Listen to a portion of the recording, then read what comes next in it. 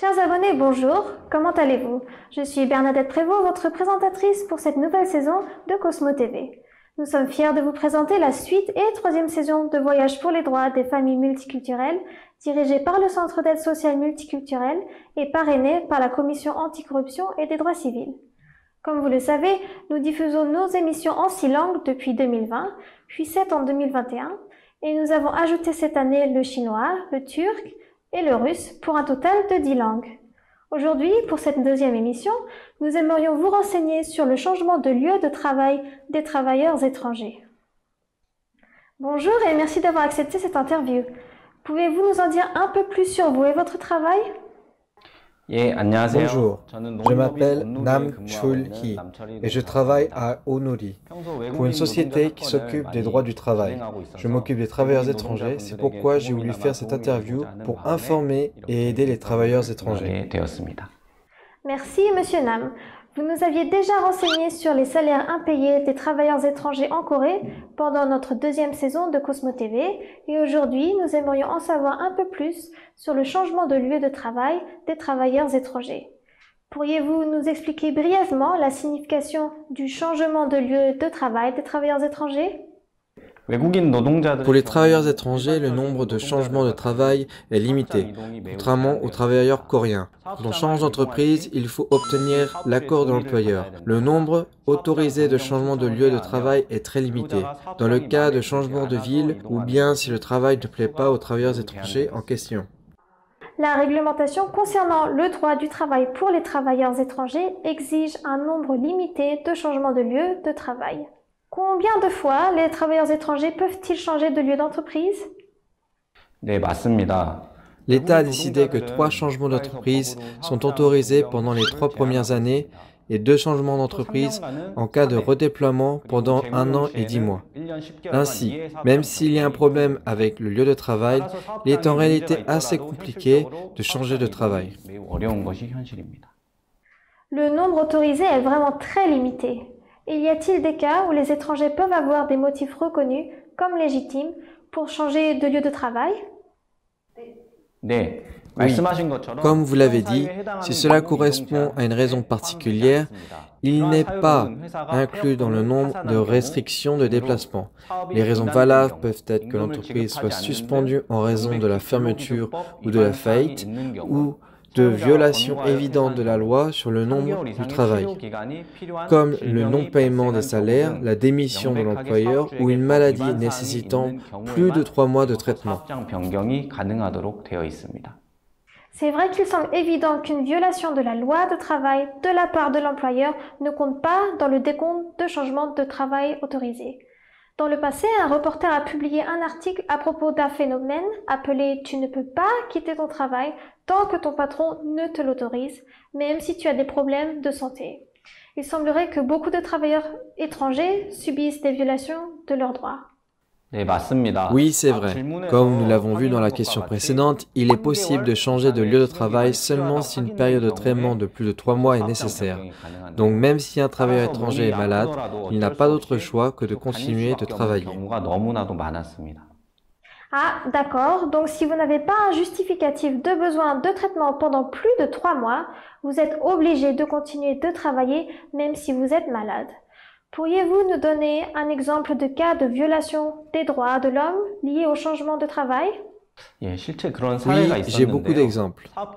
Si l'employeur n'a pas versé un salaire, qu'il agit de manière très injuste, en criant sur les travailleurs, ou bien qu'il paye ses employés bien au-dessous de ce qu'ils devraient recevoir, il n'y a pas grand-chose que l'on peut faire vu le manque de preuves. Si vous étiez un travailleur coréen, vous pourriez facilement quitter cette entreprise. Mais les travailleurs étrangers n'ont pas d'autre choix que de continuer à travailler dans cette situation injuste.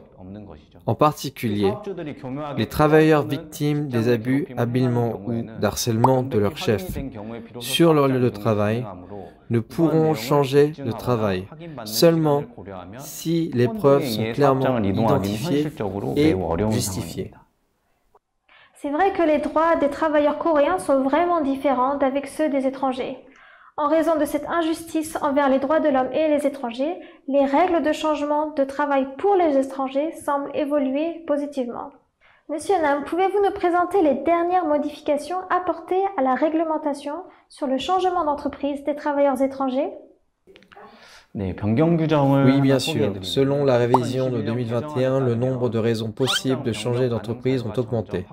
Par exemple, dans le cas très souvent rencontré des étrangers travaillant dans le domaine de l'agriculture et vivant dans les bâches transparentes en PVC pour les serres, ou bien que l'employeur refuse de donner du travail malgré le jour de travail fixé par le contrat, donc ne paye pas son employé. Il est possible dans ce cas de changement d'établissement. Merci pour vos explications sur les récentes nouvelles règles de changement d'entreprise. Il paraîtrait qu'il y a aussi un système de changement d'entreprise d'urgence. En quoi cela consiste-t-il? le système de changement de lieu de travail d'urgence est un système qui permet aux travailleurs étrangers de changer de lieu de travail pour pouvoir séparer immédiatement les victimes de leur bourreau en cas d'harcèlement ou d'agression sexuelle. En d'autres termes, avant ce changement de loi, le processus de vérification d'harcèlement ou d'agression sexuelle prenait trop de temps. Et si la victime n'avait pas d'autre choix que de rester sur son lieu de travail pendant ce processus de confirmation, ce qui entraînait souvent une seconde agression. Récemment, non seulement les agressions sexuelles d'un employeur, mais aussi les agressions sexuelles venant d'un collègue, de l'épouse d'un propriétaire d'entreprise ou d'un proche ont été ajoutées comme raison de changement d'entreprise d'urgence. Donc ce système d'urgence est destiné aux victimes d'harcèlement ou d'agression sexuelle et permettra de changer de lieu de travail immédiatement pour séparer la victime de son agresseur. Quelles sont les procédures nécessaires pour les travailleurs étrangers qui souhaitent changer de travail en suivant une procédure normale? Tout d'abord, vous devez vous rendre au centre d'emploi le plus proche de chez vous. Vous devez aller au centre d'emploi et demander un changement d'entreprise. La demande de changement d'entreprise doit être faite dans un délai d'un mois après la terminaison de votre emploi précédent. Pour cela, vous pouvez avoir une carte, Alien Card, et une copie de votre passeport. Remplir la demande de changement d'entreprise est un justificatif de changement d'entreprise. En outre, vous devez aussi vous rendre au bureau de l'immigration pour obtenir une autorisation de changement de lieu de travail. D'accord, donc pour changer d'entreprise, vous devez vous rendre dans le centre d'emploi le plus proche de chez vous. Que doit-on faire si un centre d'emploi est trop loin ou bien que l'on ne puisse s'y rendre en personne? Si vous avez du mal à vous rendre au centre d'emploi, vous pouvez utiliser le système de gestion pour emplois étrangers. Après, vous êtes inscrit dans le système de gestion de l'emploi étranger, EPS, entrez dans le motif de la demande, l'entreprise souhaitée, la zone de travail souhaitée, le salaire, etc. Je vois. Il ne faut donc pas hésiter à utiliser ce lien Internet pour changer de travail. Et c'est bientôt la fin de cette interview. Avez-vous quelque chose à ajouter pour nos travailleurs étrangers vivant actuellement en Corée? Oui, je vous ai parlé du salaire des étrangers la dernière et je suis heureux aujourd'hui de vous pouvoir présenter ce sujet sur le changement de lieu de travail.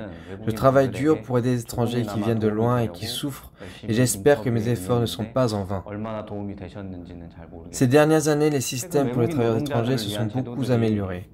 Mais cette situation n'est pas bien connue et il y a encore beaucoup de failles dans le système. Il semble que les droits de l'homme des travailleurs étrangers ne soient pas bien traités. J'espère que ce système s'améliorera rapidement et que les travailleurs étrangers travailleront dans un environnement protégé par les droits de l'homme comme les travailleurs coréens. Je m'assurerai de faire du mieux que je peux pour aider les travailleurs étrangers.